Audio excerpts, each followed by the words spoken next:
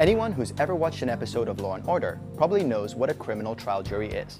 12 people who have to decide whether someone is guilty or innocent.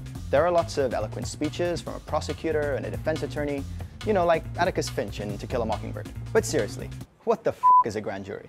Grand juries happen before a criminal trial. Think of the prosecutor here as the master of ceremonies. He or she basically picks the evidence the jury hears, and the defense attorney has no say. There's also usually no judge.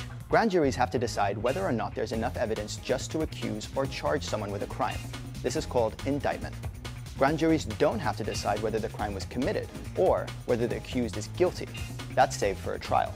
23 states in DC require grand juries. There can be anywhere from 5 to 23 jurors at the state level and 16 to 23 at the federal level. Usually only the most serious crimes like rape or murder go to a grand jury. Lots of people have argued that grand juries have become a mere formality, or worse, a prosecutor's best friend. Out of 162,000 federal cases in 2010, grand juries didn't come up with an indictment in just 11 of them. But it wasn't always so. Grand juries are actually really old. Some have traced them as far back as ancient Greece. Others to the Anglo-Saxons more than 10 centuries ago. The actual term grand jury was used back in 1386, when a sheriff rounded up 24 knights to present offences committed in the county. Grand juries evolved in England from there, and the practice was imported to the American colonies. In 1734, three grand juries refused to indict John Peter Zenger.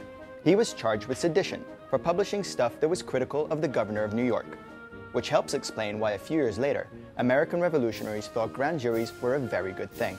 The Founding Fathers enshrined the grand jury in the Constitution, seeing it as a shield against unjust persecution. So now that you know more about grand juries, what do you think? antiquated relic, or essential tool for justice.